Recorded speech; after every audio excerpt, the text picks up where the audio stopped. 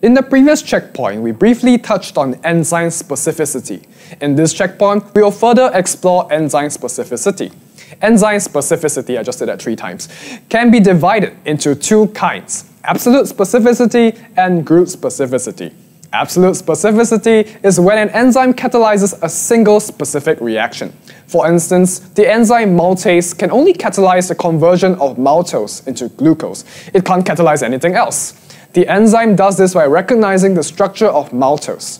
Absolute specificity is normally the case when the active site of the enzyme is complementary in structure and charge to a particular substrate. Group specificity, on the other hand, is when an enzyme catalyzes a specific type of reaction, a certain group, for example.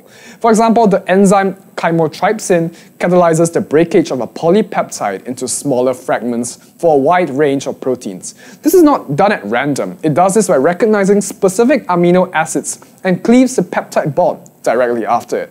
Group specificity is normally the case when the active site of the enzyme is complementary in structure and charge to a particular chemical bond. So you can think of it as absolute recognizes the whole substrate, while group recognizes what's in the substrate.